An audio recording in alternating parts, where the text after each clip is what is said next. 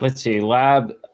Yeah, the lab is due on Tuesday. I try to give a week for the lab since I release it on Tuesday. It'll be due on Tuesday, and the homework will be due uh, next Friday. That's correct. And so, uh, in my opinion, this next homework will be likely one of the most important ones. It won't be in terms of technologies, obviously, like the end project and the full stack applications are going to be far more important in terms of skill set. But in terms of giving you an asset to carry over and maintain after this course is done, the portfolio that you're building for this next assignment should be your landing page. It should be something that represents you in the public domain of the internet that uh, speaks to what your skills are and who you are. So it, it's certainly something that you should definitely keep up with after the course is done and uh, and maintain a value for. You know, cite it on your resume, link to it on your LinkedIn account, and uh, keep it up to date. Okay, with that said, today's lecture, I want to go ahead and uh, I want to move on from the declarative styling languages that we've been learning, which is HTML, CSS, and Bootstrap, and finally introduce uh, the at least the basics of JavaScript. So the interpreted coding language that allows us to implement logic and have uh, uh, stateful systems inside of our browser. So up to this moment, one of the challenging things about our assignments have been that everything you've implemented has been stateless. So as you as as so when you were building your interactive story, you weren't able to uh, store any actions that the user was doing to carry over to some consequential action. So now we're going to learn what tools we have so that we can start programming logic. So let's see here. Today, my lecture is going to predominantly go over the various programming paradigms that are available to us in JavaScript. We'll talk about how we can go ahead and implement comments and uh, console logs for debugging and being able to uh, clearly articulate what portions of our source code does. We'll go ahead and talk about uh, how to declare variables and the scoping rules for those variables. We'll talk about the various operators, the primitive operators, and the uh, or processing operations. Per you know, these two are essentially the same thing. Uh, we'll talk about being able to check the types and then casting from one data type to the next. We'll talk about how we can go ahead and define our control flow in our algorithms, which is essentially our loops and selections. We'll talk about how we can declare fun uh, functions. We'll look at three different ways to declare functions, uh, function declarations, function expressions, and function arrows. And then we'll talk a little bit about some advanced scoping topics. Uh, maybe I should put this, advanced scoping, which would be closures and hoisting. And I think we should be able to get through at least most of this uh, for this lecture and prepare us for next lecture to start doing uh, an examination of the data structures that are built into JavaScript next. Okay. So with that said, let's talk about, uh, first of all, let me also highlight before I move on that JavaScript bears no actual uh, parallel with Java. It was uh, it was a term that Mozilla, uh, the company that developed JavaScript initially, their marketing team had come up with. So current JavaScript actually does bear some similarities syntactically to modern day Java. Uh, actually, if I had to, if I had to try to describe what it's like to code in JavaScript, I would say it would probably be equal blends Java and uh, Python. I think it's a it's a it's a nice merging of those two languages. But I'll let you make your own decision on that. So first, let's talk about the various uh, programming paradigms that JavaScript supports. Well, let's state that first, JavaScript is an interpreted language. Uh, and by interpreted language, it's much like Python and less like Java, uh, except for, uh, I don't want to get into Java. Java is like a complex case, but it's less like C and more like uh, uh, Python. So that means it executes an instruction at a time and we don't have to compile our code before executing it. And so let me illustrate what that means. I'm going to hop on over to this other uh, Chrome pane. This is empty. I'm going to go to the URL bar. I'm going to type in about uh, colon blank. It's going to load in just an empty page, which is perfect because what I want to do is get to the integrated browser uh, JavaScript interpreter. So I'm going to go to my my dev tools. I'm going to go to console. Perfect. Okay, so right here, I don't have anything loaded here. So now I have a nice clean uh, JavaScript interpreter. So what this means is I can type in to the interpreter and it will go ahead and instantly go ahead and execute whatever statements I, I input into it.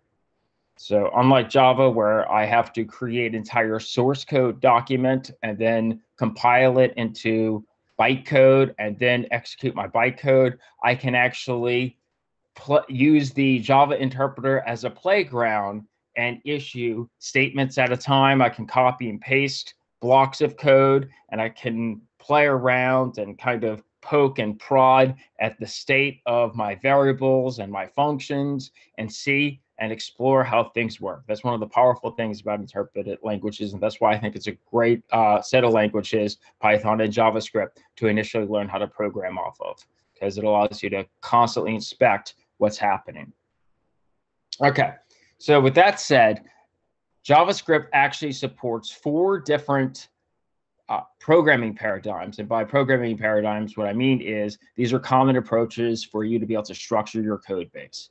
So it supports an imperative approach, which is just a sequential list of commands that execute in order. So, you know, technically every programming language you've learned thus far is imperative. Uh, in addition to it being imperative, it supports procedural programming, which simply means you can take your algorithm and split those instructions into procedures or functions. So just functional decomposition. Once you start performing functional decomposition on your source code, it's now a procedural approach. Then there's what you learned in Java 1 and Java 2, the object-oriented approach, where you can split your instructions into objects or classes that contain properties and behaviors. And then finally, JavaScript also supports a functional paradigm, which is essentially a collection of functions that do not carry a state. So it's uh, a stateless approach of processing on data where you chain or cascade through function calls. And so it's actually not too uncommon to see one application potentially use all four of these different approaches. And so it real it's it really determines at what level you need to insert statements into the interpreter, which is going to determine whether you're going to be using an object-oriented approach versus a procedural versus functional versus an imperative. So we'll identify what approach is being used at different times as we go through the uh, semester, just so that you have a good feel of what these categorizations are. Okay, so let's let's move forward and actually get into the nitty gritty. Let's start with the easy stuff. How do I add comments into my JavaScript? Well, comments, and I'm going to try to frame this as a Java like experience. So I'm trying to frame this based off of everything you learned in uh, 1583 and 2120. I'll try to correlate JavaScript to Java in, in that regard. And fortunately for me, this is going to be, I think, relatively easy. So our inline comments are exactly the same as they are in Java. It's just slash slash, and then you could do a comment on a pre-existing line. And the rest of that line thereafter will be a comment. If you want a multi-line comment, it's going to be slash star star slash. Same thing in Java. So that you should already know. Okay, let's talk about console logs. So comments are good for uh, providing insight, providing uh, information about what's happening in your source code in a natural language way. But oftentimes you want to use console logs for debugging purposes.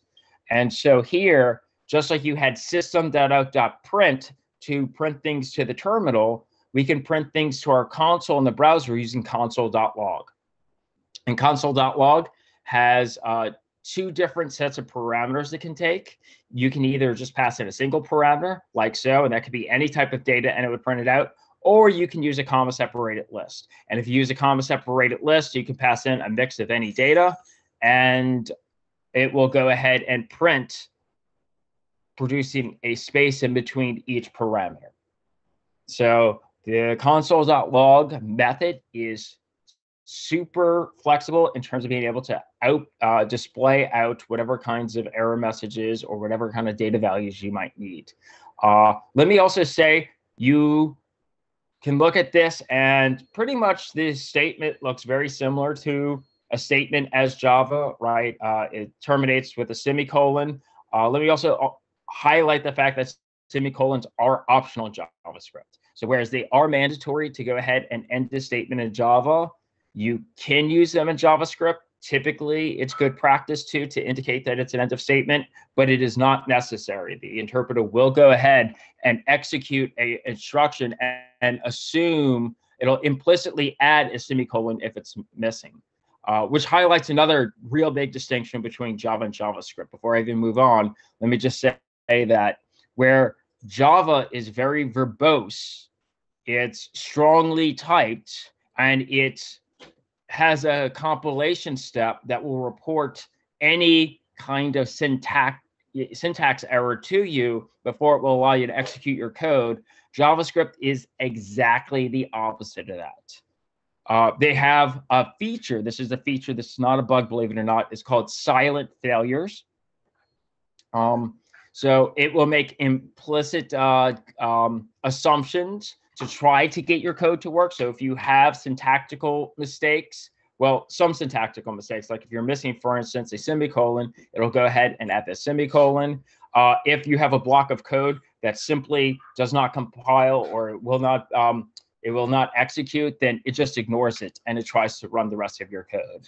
And the reason why the reason why the silent failure was a thing was there was a decision that uh, since JavaScript is going to be running the browser and the browser is going to potentially have uh, tabs to several different websites open to different times, the uh, the developers did not want to handcuff their app's reliability, the browser's reliability, on the shoddy coding of anyone who could launch a website. So the determination was instead of crashing the uh, browser, if there was ever an issue, just to try to run as much as you could and ignore anything that failed. This way, you had consistency uh, in the browser to continue running all the other browser pages that might also be open. So it was a design philosophy to silently fail as opposed to be verbosely informative. So in that regard, it's it'll be both nice to do in JavaScript because you'll get things up and running faster. But if something is erroneous or if something does not work so well, you're going to be doing a lot of debugging. And that's where console.log is going to become one of your good, good friends here. Um, I just want to make one other mention. I'll talk about this when I hit variables. Is that whereas Java is strongly typed, where you have to declare every type of data that you're going to use, uh, JavaScript's going to be loosely typed. So we don't really care about having to declare a data type.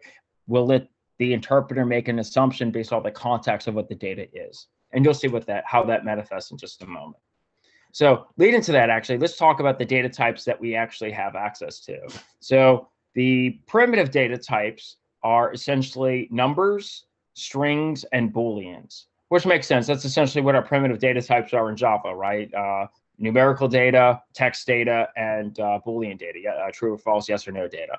We also have some reference type uh, um, uh, data types, so objects and functions are a special case of an object. So a function is actually an object in JavaScript, which is going to open up a whole lot of possibilities for us that we'll see in just uh, a moment. But this ends up doing some interesting things like allowing us to do uh, function expressions or be able to do closures, for instance. So we'll talk about that at the end of this slideshow. We also have some non-type. So just like Java had a null non-type, we have actually two different non- non-types. Actually, it's it's it's three, uh, kind of. We have undefined and we have null. And I'll distinguish between those in just a moment. But just know that everything in JavaScript could be essentially considered an object, but you have these like first order objects that are objects, but not objects because they're primitive types because their values are predefined. And those are really going to be number, string, and boolean. I'm going to prove that to be the case to you in a little bit uh, from the interpreter. Okay, so let's move on from data types. I, I, don't think this is anything surprising. It's pretty much what is the same as in Java. So let's talk about these non-types. So we have not just null, but we have undefined, and then we also have a uh, NaN or not a number. So a null is a null value that represents, it does have a reference that points to a non-existent object. So it's a non-reference or a null reference. So it's similar to the way that you'd want to think about a null reference in Java. Whereas undefined is supposed to represent a primitive value that has not been set yet. So if it hasn't been set, it's undefined. If it's set to an object that doesn't really exist, that doesn't have a value, if it's set to an object that doesn't have a value, it's null. If it hasn't been set, it's undefined. That that's essentially the distinction. So the similarities is they when both are negated, you can actually convert them into falsy values. Uh, they both represent something that's non-existing. The difference is is that null represents nothing, whereas undefined is something that isn't defined. Uh, undefined is its own type, whereas null is actually an object. It's just like it's not an empty object, it's a null object. Null is treated as a zero in basic arithmetic operations. I'll talk about more about what that means when we get to our operators, whereas undefined returns a nan, not a number. So in addition to null and undefined, in terms of whenever you try to do any numerical calculations, if you ever try to use something that can't be cast into a number, it produces a special non-type, which is a not a number type. So, so JavaScript has actually been pretty verbose in trying to describe the various non-types of data that can be assigned to a particular value. Okay, so now let's talk about how we can actually implement these data types in JavaScript. So uh, just like in Java, strings are objects used to uh, represent and manipulate a sequence of characters. A basic string could be represented either with double quotations and then all the text in between there, just like we're used to, or it could be represented with single quotations. There's no concept of a char here, so you're free to use either the double or single quotation. The trick is you have to be consistent. So if you start with the double, you have to end with the double. If you start with a single, you got to end with a single. The powerful thing about this is it allows you to blend the two. So if you need to, for some reason, have double quotations embedded into your string, then you should use single quotations so that you can get the double quotation embedded without breaking the string. Similar, if you want to have the single quotations in the string, make sure that you uh, end and begin the string with double quotations. So there's another type of way we can also define strings. It's the ticks, the same ticks we use inside of Slack. It's, you know, the alternate tilde key, uh, if you're not familiar with the tick. So if you have a tick to open and close, it allows you to actually use both double and single quotes in a single string. Actually, though, string templates are, in terms of Java, would be the closest things we have to formatted strings. So you can actually embed data or variables or expressions or function calls into a string as long as you're using a string template by using a dollar sign and then curly braces and then any any statement you put in between these curly braces would actually be executed by the JavaScript interpreter and then passed into a string and then it would be embedded into the string. Now, one powerful thing, another powerful thing about these tick uh, or these string templates is that it also preserves all the original formatting that was inside of that, uh, that's inside of the string. So whereas the double quotations or the single quotations actually uh, remove new line characters or tabs or spaces, well, not spaces, but new line characters and, and tab. Well, I don't know about that. Well, at least new line characters. it removes your new line characters, uh, the ticks will preserve that. And in fact, this is a this is a feature that's also string templates are also something that's available in Python, and they're also something that is coming to Java in its newest release. It might already be in beta right now. So this is just, just a, a more verbose way of handling uh, text and and and being able to preserve the original uh, components, both the not just the text itself, but the formatting instructions for it. Okay, so done with strings. Let's talk about numbers now. So there's only one number type, or technically it's an object, but I'll, I'll, i want to distinguish it from an object and call it like a primitive type.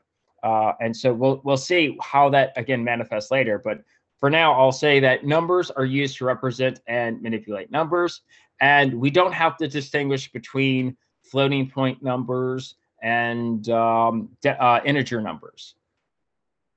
And so uh, they're treated both the same. They're just treated as the data type number.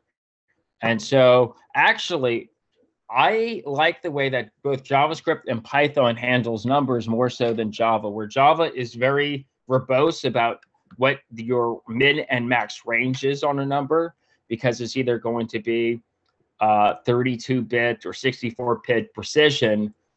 JavaScript allows an arbitrarily sized, uh, arbitrarily large number. We'll see that on the next slide. But so you could just uh, declare, you know, float type, uh, integer type in decimal format. You can also do um, binary encoding. So if you start your number with zero and then B, and then whatever values you give after that, it will encode it as a binary or treat it as a binary number. If you do 0, O, it'll treat it as an octal number. If you do 0x, you could uh, input a hexadecimal number.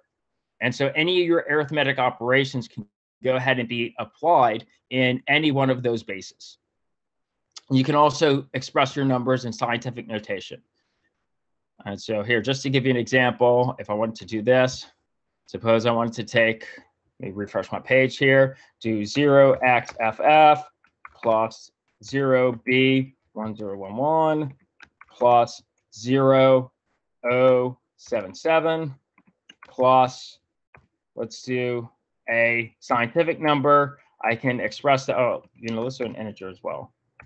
And uh, why not a, uh, um, a floating point. There we go. And that's going to be our result. So you can see it's it's really expressive in all the different ways that we can present our number depending on what our use case is. And then we can also generate not a number. Not a number is if we say try to cast a the letter A right into a number. Now, if I preface that with 0x, now, suddenly that can be a number because that's a hexadecimal encoding. Okay.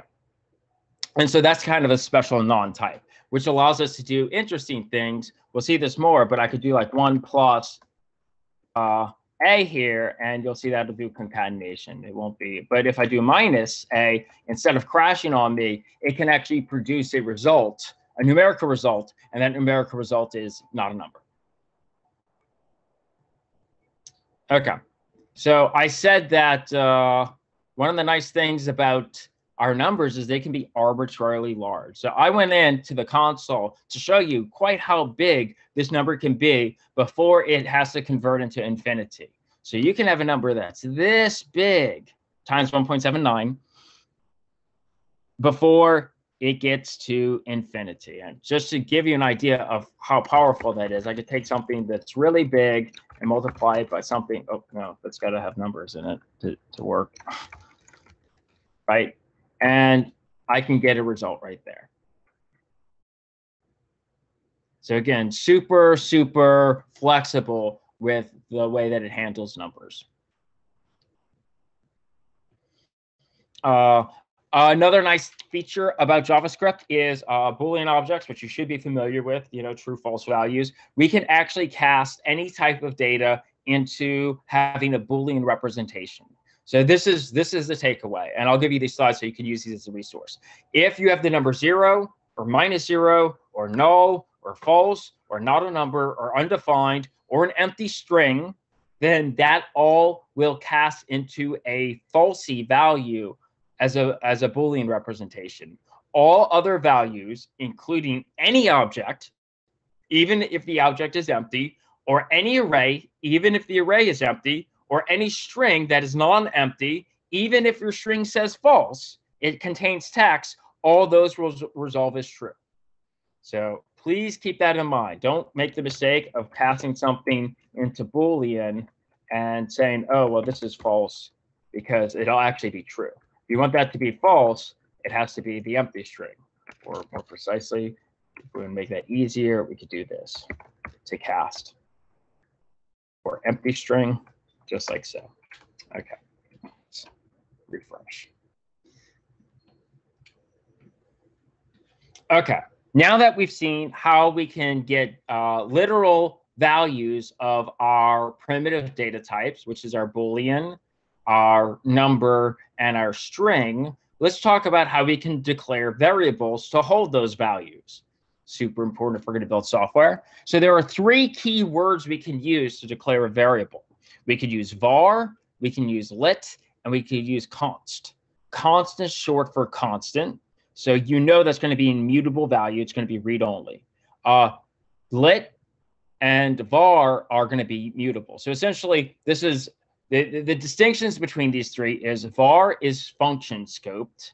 It allows redeclarations and it allows overwrites. let is block scoped. It does not allow for any redeclarations, but it does allow to be overwrite. It is mutable. Uh, constant or const is block scope. It doesn't allow for redeclarations and it does not allow for overwriting. The basic rule of thumb is you always use the least privilege as possible. It's the basic security met metric you use for, for anything, uh, like access to your computer, access to a file, access to um, uh, access to data in your software system, the motivation should always be to to to inspect the thing you're assigning and say, can this be a const? Will it ever change throughout the execution of my application? If it does not, if it will not mutate, use const. It's the safest way to go to ensure for consistency across the execution of your application.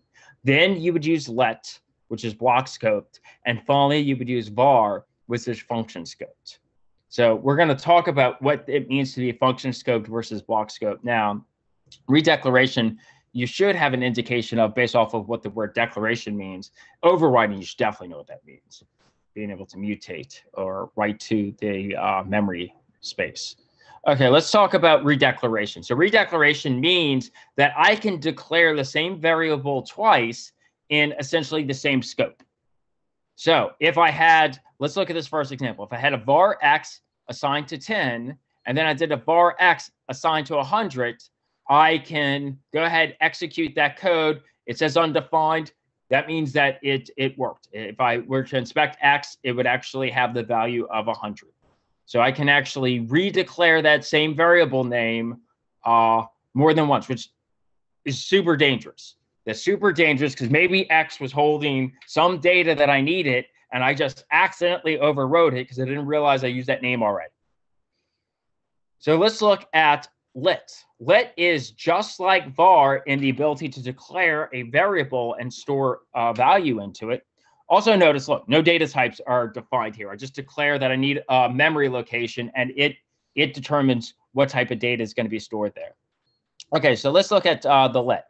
I'm going to try to declare, declare let twice, and notice it's going to generate this syntax error. Identifier X has already been declared. So this is why we like let. It allows us safety and preventing us from doing something stupid.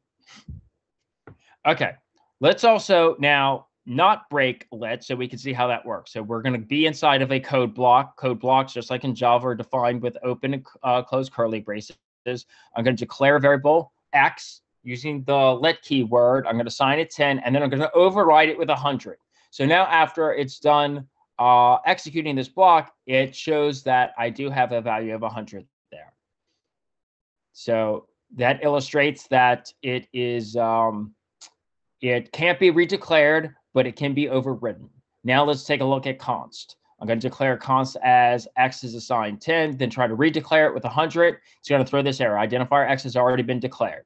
Okay, so that just illustrates that I can't redeclare it. So let's not try to redeclare it, but re overwrite the value or reassign the value. So we'll declare const x equal to 10 or assign 10, and then we will reassign it with 100, and we'll get this new error message, assignment to constant variable cannot be done. It's a type error.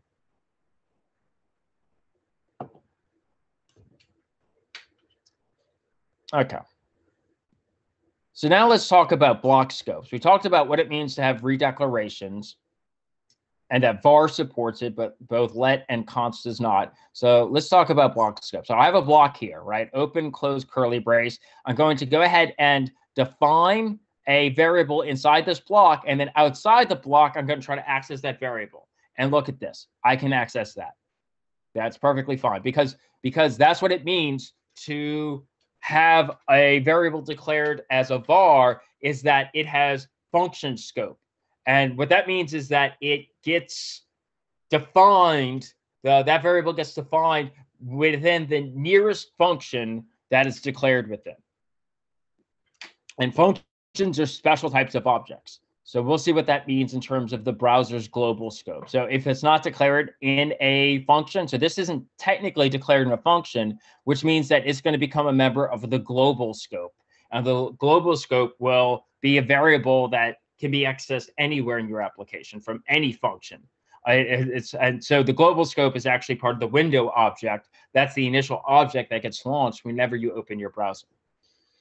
Uh, so let's define a scope here using the let keyword, we'll assign y here 100 and then try to access it outside. And this is exactly what we would expect. So let gives you an, uh, an equivalent scoping rules as what you'd expect from Java. So this is what you want to use. You want to use lets and and and const. You want to avoid vars unless you absolutely need to use them.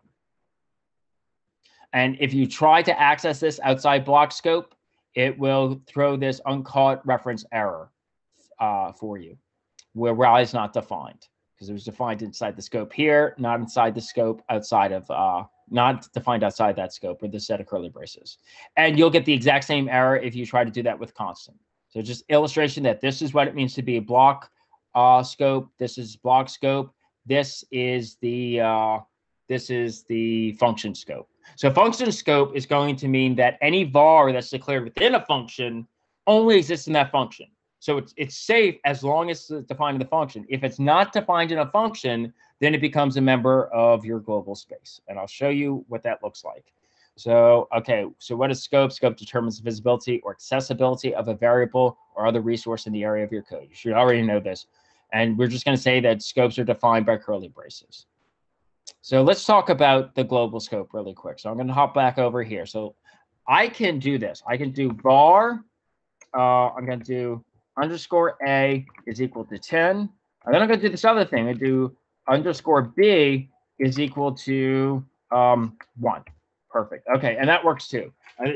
And so you might be wondering, well, how can I create a uh, variable without using the keyword vars? Because I'm actually inside of a window object. I can actually I can actually use it since it's an object. I'm actually interacting within the object window. If I type in this, it'll actually show me the window object that this points to. So just like in, uh, we'll, uh, we'll cover this when we hit OOP portions of JavaScript, but I can use this keyword to reference or dereference whatever the this pointer is pointing to, whatever object that this uh, pointer is pointing to, whatever the instance that this pointer is pointing to. And so if I unpack my window here, everything that I can do inside this HTML document is defined inside the window object. And so this is where the global scope would be. I'd say, notice what's been added to my window instance is in the global space that underscore A, which is 10, my underscore B, which is one.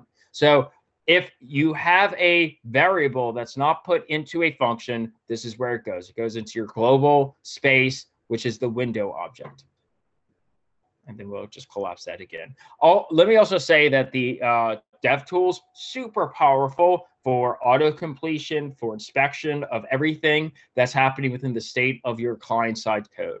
So we will be learning how to use the uh, dev tools and the console here uh, very much as we continue to develop our client-side code.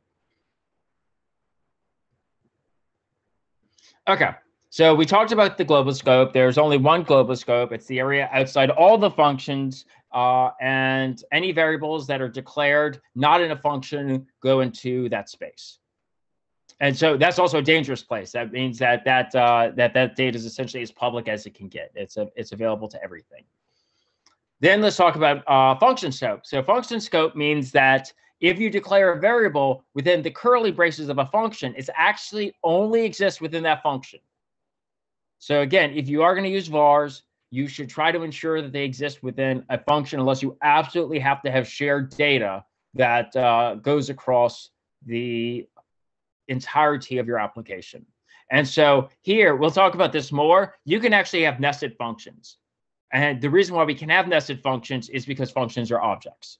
So here we have function one, and actually function two is defined in function one. And so those would have nested scopes. So a variable declared in function two would not be uh, accessible in function uh, one, but a variable that's declared in function one here would be available in function two because it has is because it's a parent.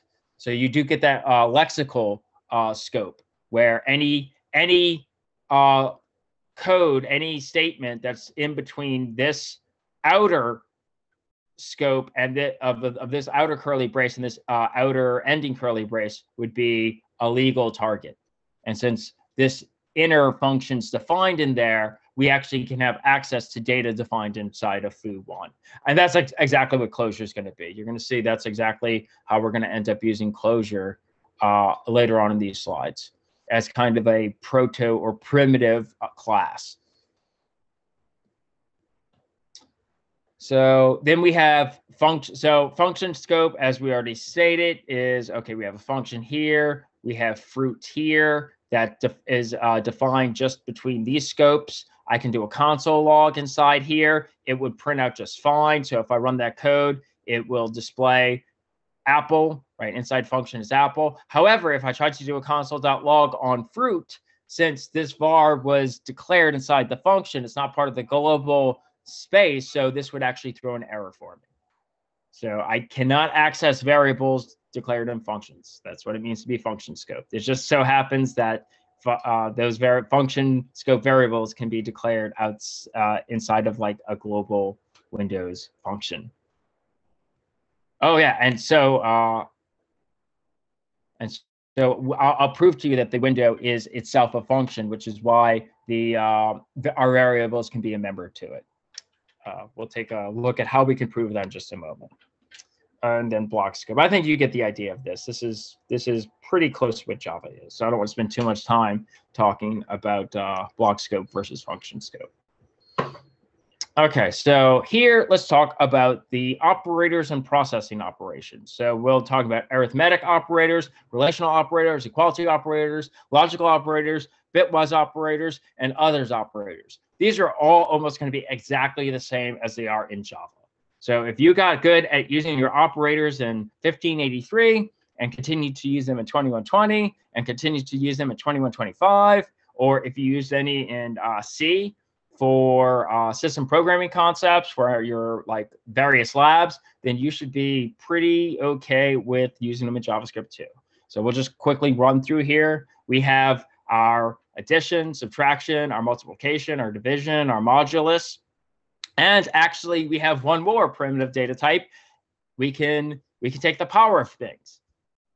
So if I wanted to take, for instance, 2 and get take 2 to the power of 4, right, I get 16. So a super easy way to be able to use the base and then the exponent power to produce a result.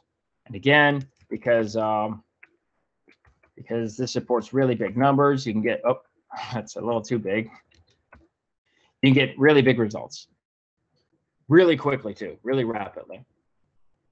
Okay, so another thing I want to highlight though with arithmetic operators, I mentioned this before and I promised I would come back to it when I got to this section. And so now I'm at the section, is that we can actually use Boolean values in our math, which is surprisingly uh, powerful in some ways that we need to express something. So let's see how that might manifest. I might take 10 and I might multiply it by a true value. And so the true value is a non-zero number. So it just casts it as a one. True. So so so true results in one, which means that if I multiply it, it gives me 10. Now, if I go ahead and multiply it by false, it zeroes it out. So instantly you could see if I needed to oscillate or remove a number, instead of having to calculate how I can diminish that number, I can actually just multiply it uh, by a true or false or take it to the power of a true or false value. And it allows me this really flexible way to completely negate a number or to provide a number. So I know it seems strange, but this is uh, this ends up being pretty useful for expressing some kind of uh, numerical calculations. So it's good just to know that you can do this, that you can use true and false inside these arithmetic statements where you could not do that uh, in Java. So I do want to highlight that. Uh, the, the rest of them work exactly the same. Relational operators are less than, greater than, less than or equal greater than equal exactly the same except that you're not just restricted to numerical data. You can actually evaluate strings and boolean. So let's see what that looks like. So string let's say i have a is less than b. Oh yeah that's that's true. If i flip it oh nope that's false.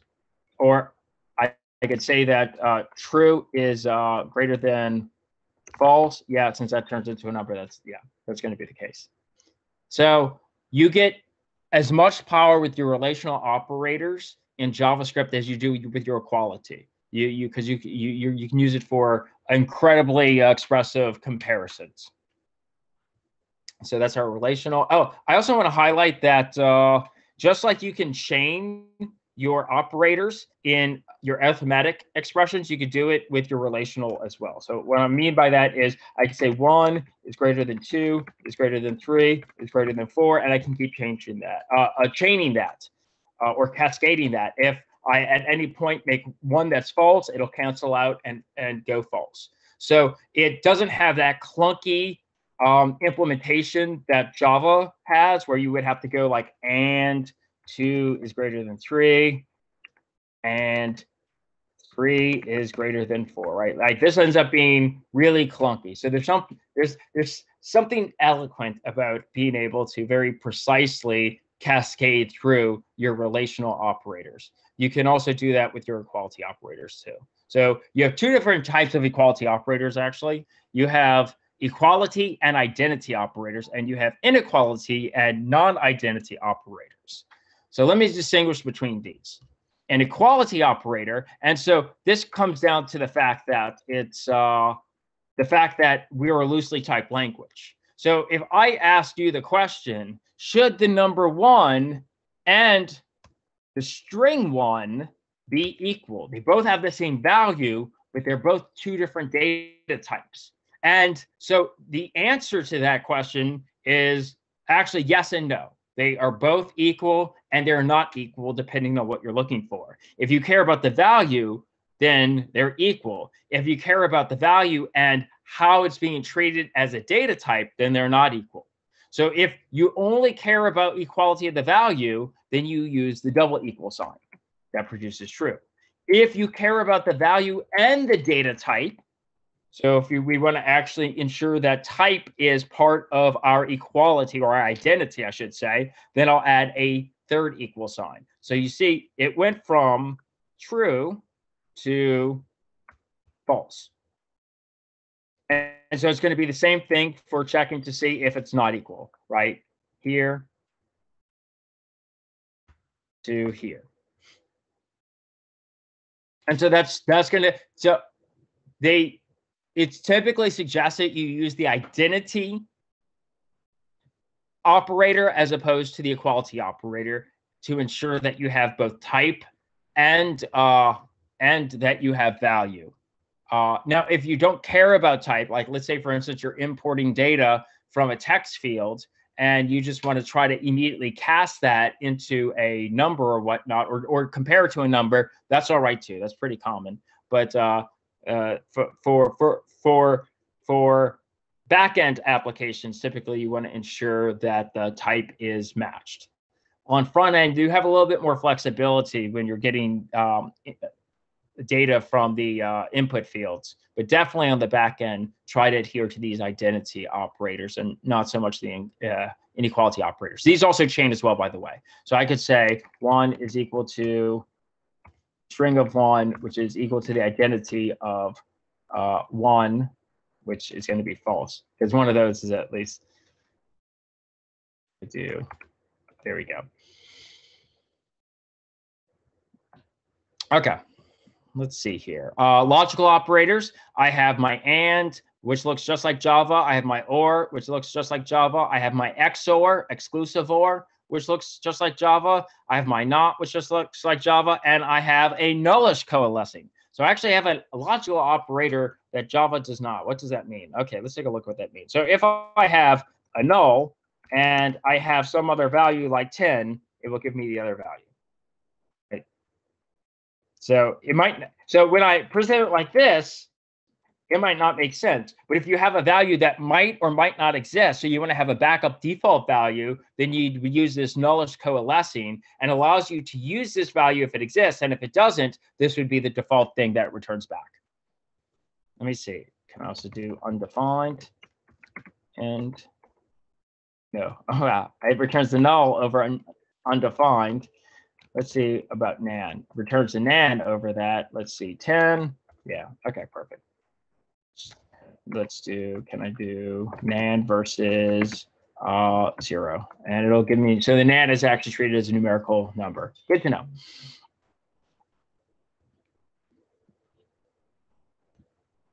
Okay, the bitwise operators, exactly as you probably use them in C. So it allows you to shift uh, your bits leftwise, rightwise, uh, rightwise unsigned. It allows you to be able to do a uh, binary math, doing AND operations, bitwise OR operations, and bitwise XOR operations. I don't want to spend too much time on this because this isn't systems. But you could do your systems homework inside JavaScript. And then finally, concatenation is uh, essentially anything that's not a number plus another thing that's not a number or a number, and it's going to produce concatenation. So concatenation is done just like it is in, uh, in Java. And we also have that conditional operator where we can have something that's either true or false here, question mark, and then this is the thing that we want to resolve true. This is the thing we want to resolve false. Again, this uh, trinary or uh, um, operator, exactly as it is in Java. So don't want to spend too much time. Okay, so let's talk about type checking and casting. So if I want to check the type of something, I can just do type of one.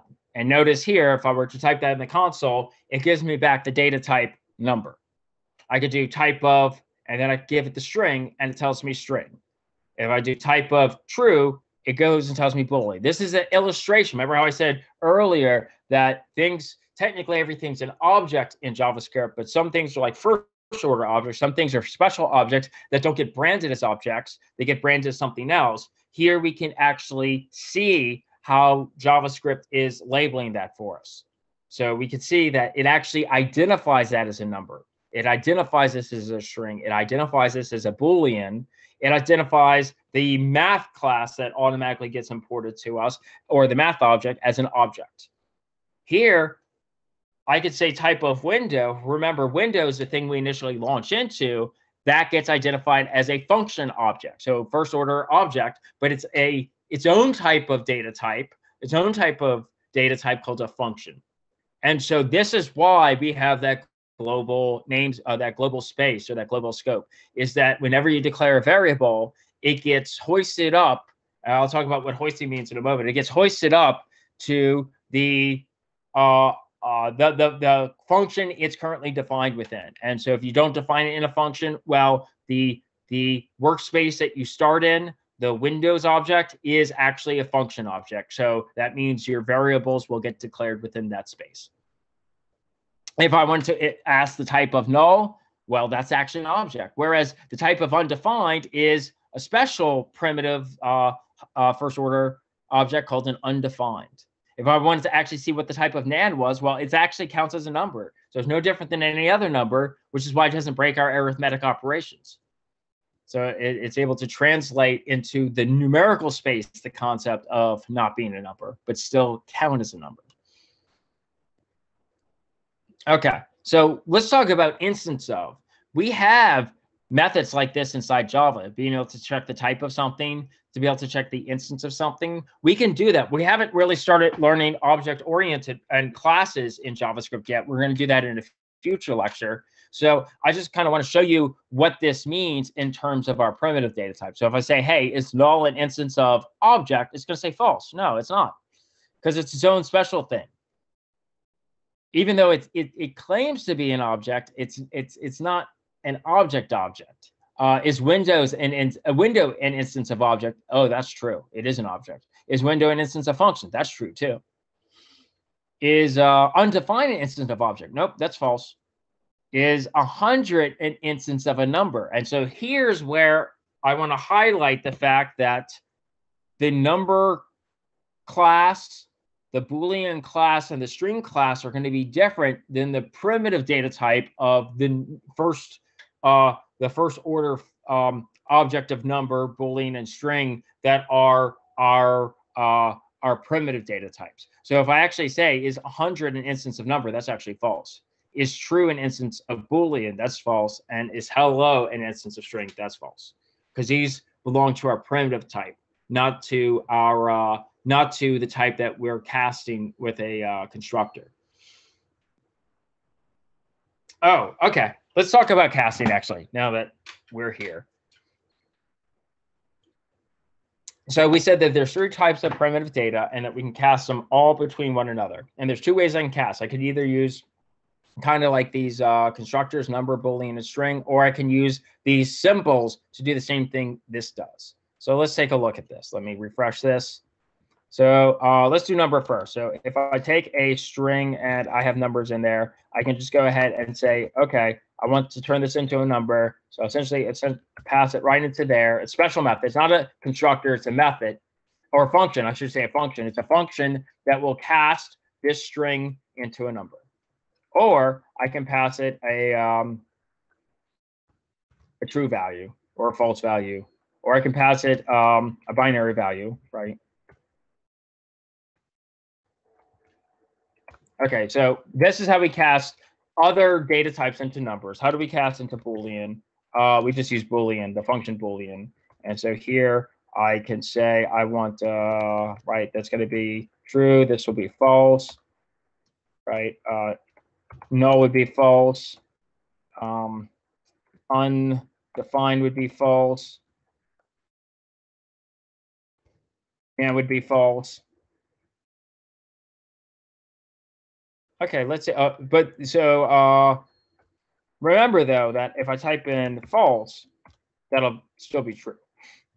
If I do a empty array, which we'll talk about later, that's going to be true. That means that that actually exists. There's actually a reference to an array.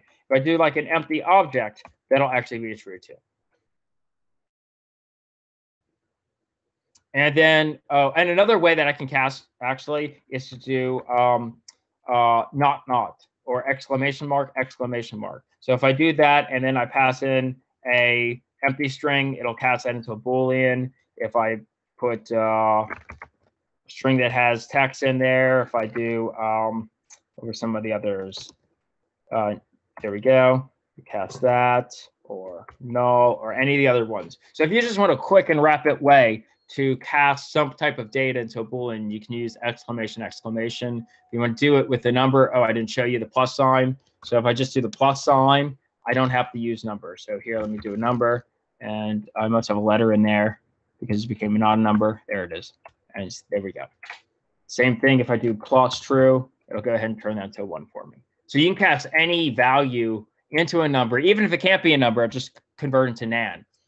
And then if you want to do a string, well, you could either do the toString method or you could do the, um, what I showed you before, you could use the template and just pass your data in there. So where's my dollar sign? So I could just put like a, um, a number in here and notice that's now a string.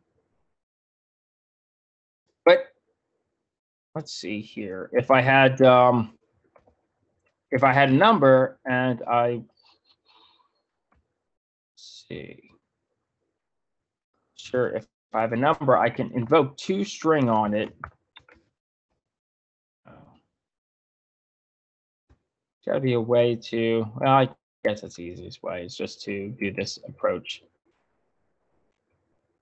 Um, here, this approach where you use the string template and you just pass your data in. And then if you want to do a calculation, you can do your calculation. Okay.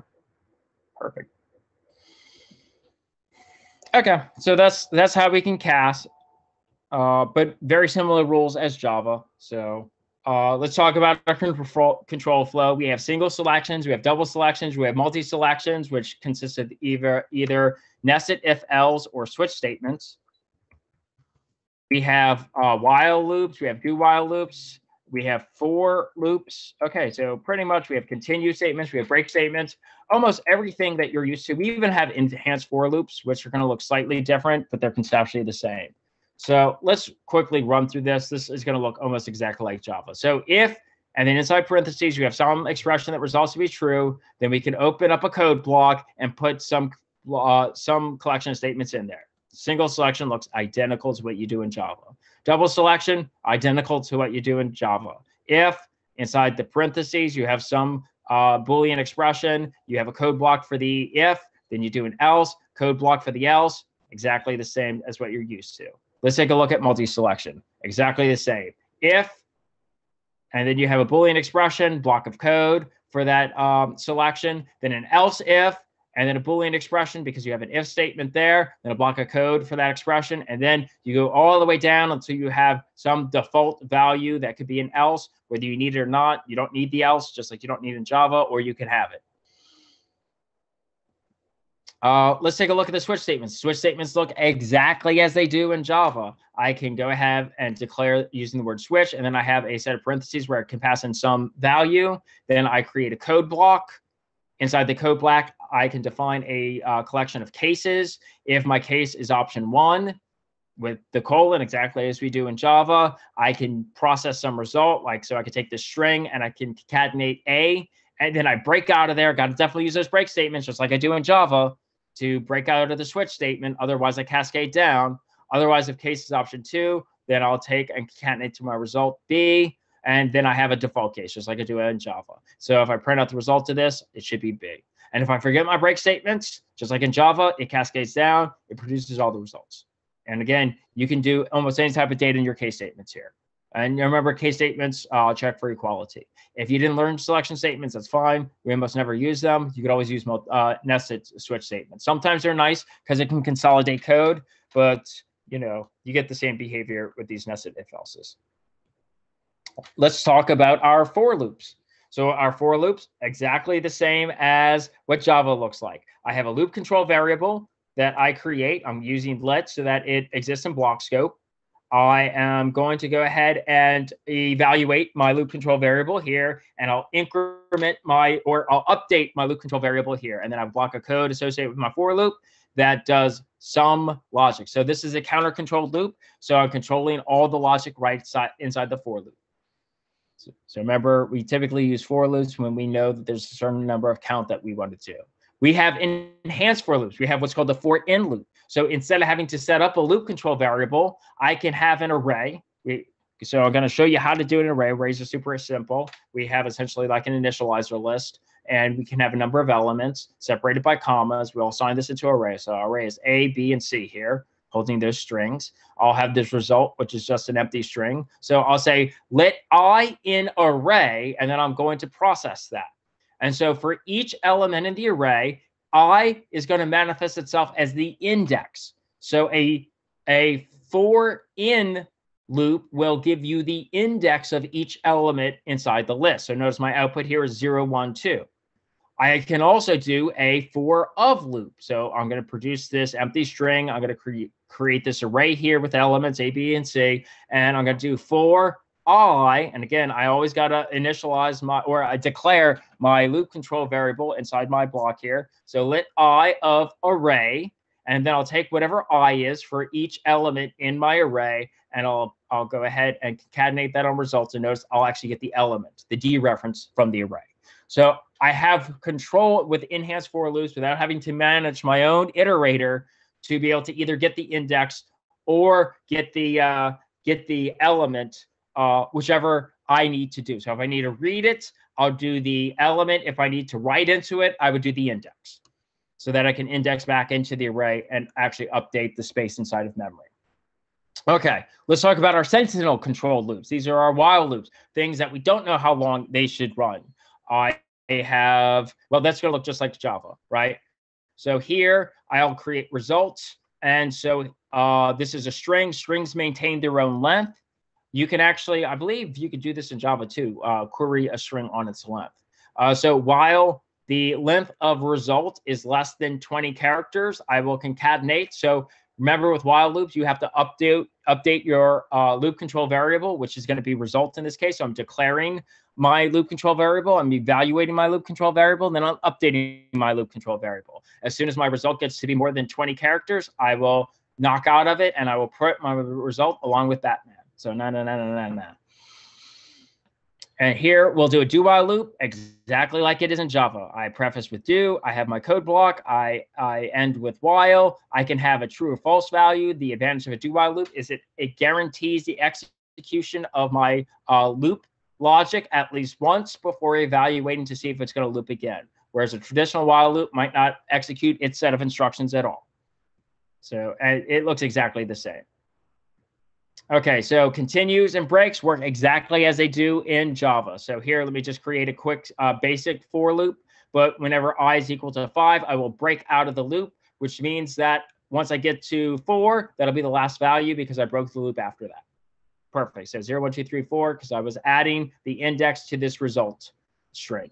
Let's take a look at. Uh, so let me explain um, the continue, then I'll I'll redefine what the equal equal equal the identity is. So this right here is the identity. That means that I am looking at I for not only being the same value of, but the same data type. Remember that JavaScript is a uh, loosely typed language, which means that the I don't I'm not I'm not necessarily guaranteed that any value I'm looking at is a numerical value and sometimes I want that to. Uh, so sometimes I want that to be uh, true. Sometimes I don't. But for safety caution, you should always use identity if that's if if you're supposed to be both a number and a value. Okay, let's talk about the uh, the continue. Works just like in Java. So I'm going to iterate from zero to ten, increment each time. Whenever i mod three is a non-zero value, because remember, I can take numerical values and uh, treat them as Boolean expressions. So anything that is non-zero is true. Anything that is zero is false. So at zero, this would be uh, false. So I would skip the continue statement and I would add zero to result. Then I would iterate this to one and then one mod three is one. That means it's a truth value. I continue, which means I stop the execution of the loop here, but then iterate my iterator to two and then try again. So then two would continue, then three, three mod three is going to be zero, which means I'm not going to do the continue statement. I'll do the result, and that's going to give me a zero, three, six, nine. Essentially anything that's divisible by three with or gives me a modulus result of zero will appear in my uh, console.log. Perfect. Let's talk about functions. There's three different ways we can declare functions, and you've already seen some in what I showed you. Uh, functions, I think, are super easy to go ahead and uh, declare in JavaScript. And like, and since JavaScript, so up to now, what we've seen has been um, um, uh, imperative uh, programming. It's just been a collection of statements, but not contained in functions. So now we can start creating procedural programs, start organizing with a procedural approach. We can create functions. Now, the thing that separates functions from methods from a software engineering perspective is functions are not defined in classes. As soon as you start defining functions in a class, it becomes the name of a method. So if you ever wondered what's the difference between a method and a function, well, it, it depends on whether it exists inside or outside of a class. As soon as you start designing a class, all the behaviors defined within the class are methods. Any function that's defined at just the base level of your code base that's not contained in some other kind of structure, data structure like a class would be a function. So, so here we're going to talk about function, both function declarations, function expressions, and arrow functions. So we implement a function just with the keyword function. Super simple. We don't have to declare a return type. If we want something to return, we just use the return statement to return data. So by default, if you don't declare a return statement, one is implicitly uh, defined for you, returning undefined. So whenever you see these undefined crop up in the interpreter window, it's telling you that you did a you got a callback and you weren't returned any data.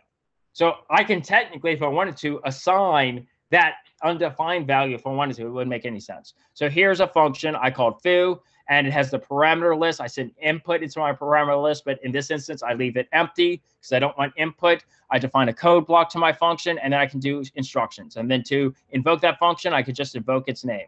Typically, you'd also want to have your semicolon, but I want to highlight the fact that those were optional. So I invoked it here to print out hello by just using the name. And you invoke it the same way you do in Java.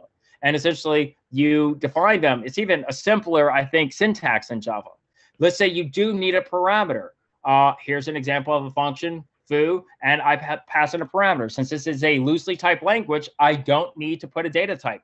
I just put a label for that local variable so we can access it inside the function block. And so here, and so essentially it will become a variable type is essentially what it is. Um, and so because it exists for the entirety of this function. And so now I can access that value passed in here, print it out. So if I do foo and by, it prints that out. Now suppose that I did want to have a return statement. So you saw I got undefined here, I got undefined here. I can define a function.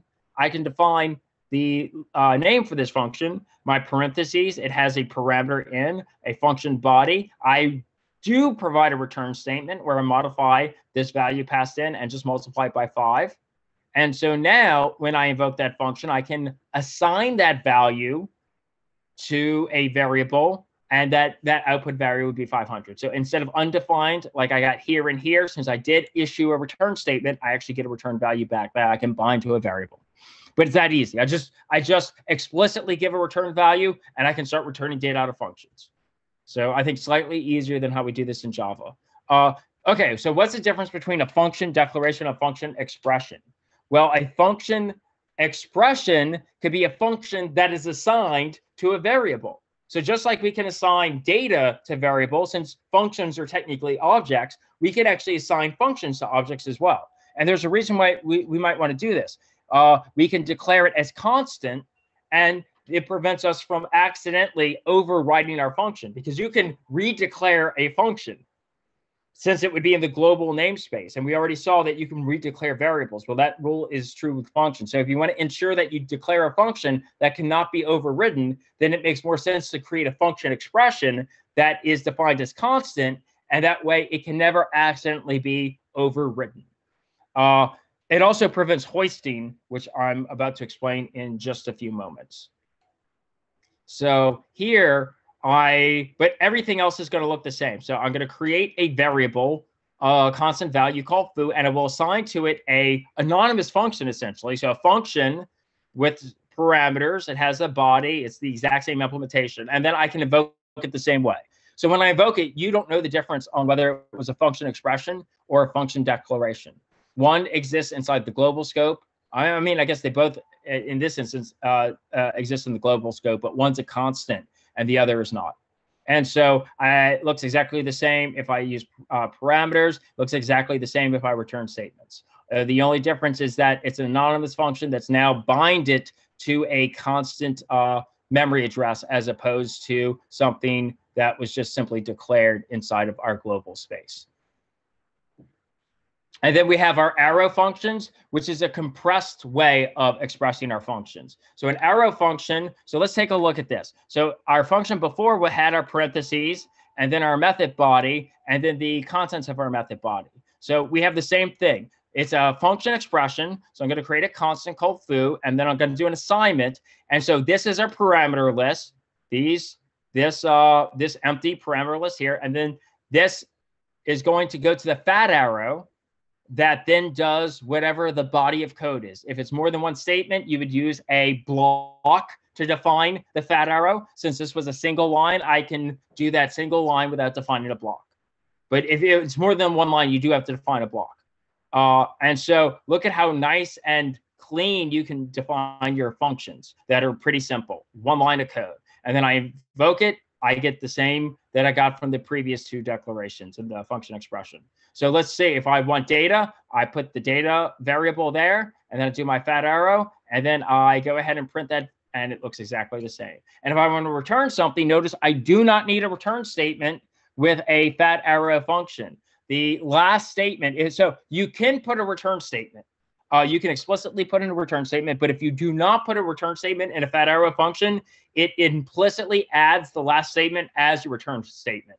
And so this is a typical strategy in functional programming paradigms. If you were to program in Scala, for instance, Scala does the same thing. If you don't uh, explicitly give a return statement, it will implicitly add one as the last statement. And so this is this is where we start treating JavaScript as a functional programming language using uh, fat arrow functions uh, on this order, which allows us to start streaming through things and cascading data or chaining data calls into data calls.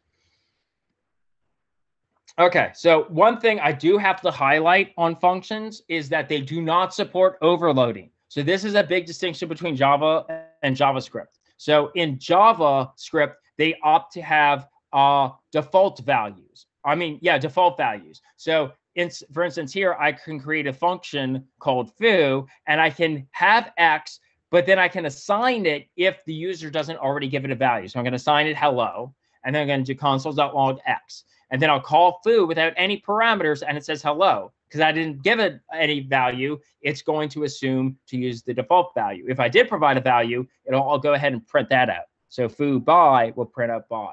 if I try to declare two functions like this with the same name but different parameters, look what happens. If I try to invoke the first one, it doesn't do anything because I overwrote that function. That's the dangerous thing about functions is if you try to overload it, all you're going to do is overwrite it. Not write it, but overwrite it. You'll mutate it. You'll redefine it which is why it's safe to use the uh, the const. If we try to do this with the const and say, oh, you can't use that name. You so if you want different behaviors on functions, your options are either to use default values or to create functions with different names. Those are your two avenues. Okay, this is the last part of my lecture, closures and hoisting. So these are my advanced uh, scoping uh, techniques. So hoisting in JavaScript is JavaScript's default behavior of moving all the declarations to the top of the current scope. So to the top of the current script or the current function. And by current script, we mean the window uh, function. So JavaScript's initializations are not hoisted. So initializations, things that are assigned are not hoisted. Only those things that are declared. So global vars and function are hoisted to the top of our global scope into the window function, and vars are hoisted to the top of their function scope. Let and const variables are not hoisted. So what does that mean? It means this. If I create this function foo and I try to print out the value of z, and then I initialize this c here, and then try to call foo, notice it doesn't print out anything. It's undefined. The reason why it doesn't do it is because I tried to initialize it right?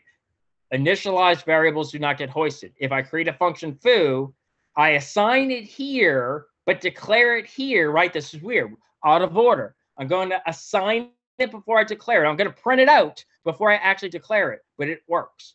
And that's because when Java goes and reads this function into memory, it checks for any declarations, not in the uh, initializations, but declarations, and it populates that to the top and it does that at the global space. It does that at the function space. Anything that's declared a var, anything that's declared a function, not a function expression, but a function declaration, are hoisted to the top of your application. So var is hoisted to the nearest function, if not defined in a function, is within the global space. And let and const are not. So if I try to do the same thing with const, if I try to go ahead and assign a value and print it out before declaring it, I'm going to get this area error. Cannot access x before initialization. So again, this is this instance, if you want variables that behave like they do in Java, use let. If you want uh, if you want uh, behaviors like um, variables or functions where you could declare them anyway, where and they kind of propagate to the top, then that's that's how function and, and var are defined. But if you're going to use these, it's a good practice to go ahead and declare these at the top from the get-go so other developers or you in the future can read and see what's happening. And so let me just give uh, an example of, uh, of uh, function hoisting. So here I have foo, where I'm actually, I, I'm, I'm, I'm, I'm calling on foo before I define it, right? So here is my invocation of foo, and then I'm defining it underneath it, but it works fine. Now, if I try to do the same thing with a function expression, remember function expressions are essentially initialization, so they don't get hoisted. If I try to invoke bar and I declare bar here, uh, after I try to invoke it, it's going to give me this error. Cannot access bar before initialization. So again, if you want to have an ordering in ensuring that everything is declared before you try to invoke it, then you get that safety by using ex function expressions and not function declarations. This is what I was kind of alluding to earlier. And so the last thing I, I, I just want to highlight in today's lecture is closures. And cl all closures are are nested functions. So we it's possible for us to embed one function inside of another function because functions are objects, which means they, they can be assigned values. And since closures are super useful because it allows us to associate data inside the outer function that then gets used by the inner function. So there's that lexical environment with a function that operates on that data. And so this obviously has parallels to object-oriented programming, where you can create an instance of something that has both attributes and then behaviors that just affect those attributes. Think of this as a, a very primitive or simplified version of this, where you don't want to have to define an entire class. Now, we do have mechanisms to define classes. I'll get into object-oriented uh, JavaScript and uh, that, that supports inheritance and whatnot uh, in a future lecture. But here, this will give us something that's very kind of object light, but when it needs to be simple. And so to give you a, uh, so to give you just an example of how this look might look, I'm going to show it to you in both the fat arrow function, which is compressed logic, or as a function expression. I could have done this as a function declaration as well. But here I will create a uh, adder uh, constant, and I'll assign that an anonymous function the, where that has a nested function. So the outer function will take in an x and then have a function body.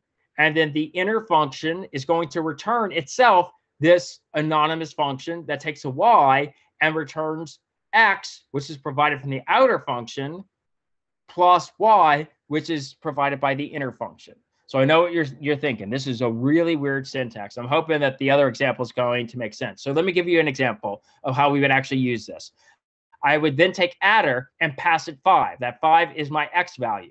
So that x value is then, so I return back this function, a function that takes in a y and returns, since I pass in x as five here, it would be five plus y.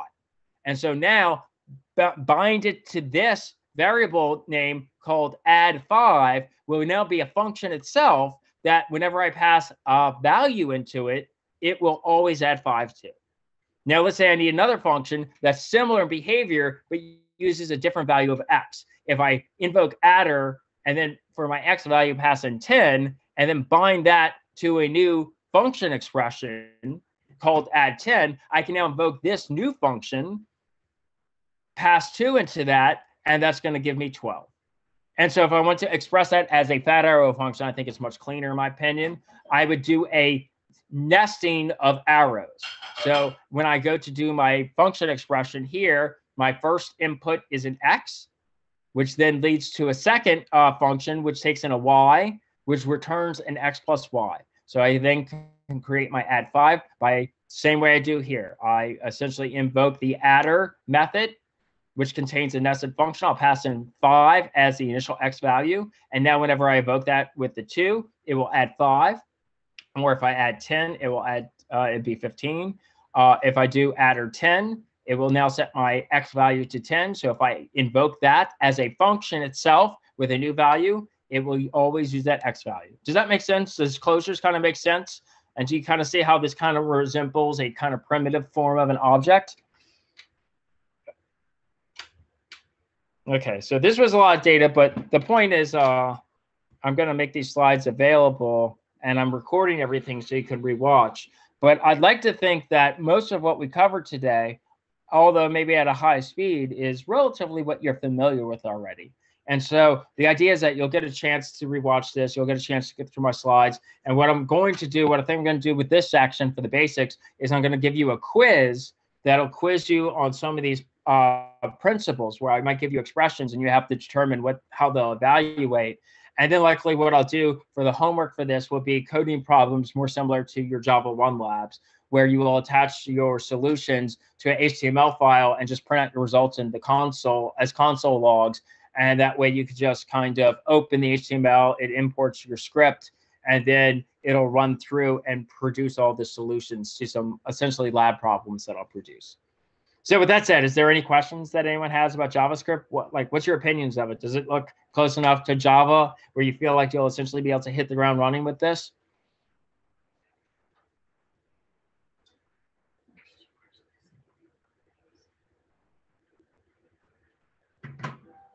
Yeah, and it'll be one of these things that um, the more you practice, the more um, the more you practice with it, the more comfortable you'll get with it.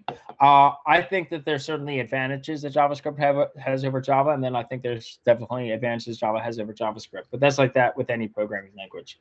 But I think everyone having a foundation Java will definitely behoove us moving forward with JavaScript. So that's our JavaScript basics. It pretty much covered. I pretty much covered the first half of Java one in an hour and 15 minutes. Uh, no, so the quiz is not posted yet. I'll I'll let you know. I mean, I probably won't post a quiz until after uh, the the Bootstrap lab is uh, technically done. So probably not till next Tuesday. That way, that there's only like one thing at a time, and like I can go through. And so now that I went through uh, this this entire um, this entire PowerPoint slide, if there's any questions that anyone has, I'll, I'll make it available uh, sometime today. Go through it and formulate questions. And I can take the first uh, couple minutes, like the first 10 or 15 minutes of next lecture, to be able to give more vivid examples inside the interpreter uh, for anything that might not make sense. Uh, I have a tough time trying to decide what to spend a lot of information on because, from my perspective, a lot of the syntax and a lot of the logic that's happening here is super similar to uh, Java. So like the, I think the one big distinction is the fact that you can nest functions declarations inside of other functions, which you can't do in Java because you don't actually have functions in Java. You only have methods. Everything has to be defined inside of a class with Java. Okay. So if there's if there's if there's no other questions, then I will go ahead and uh, end our lecture today. Let me go ahead and stop the recording.